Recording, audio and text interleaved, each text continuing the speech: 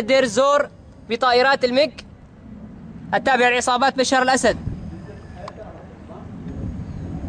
حسبنا الله ونعم الوكيل.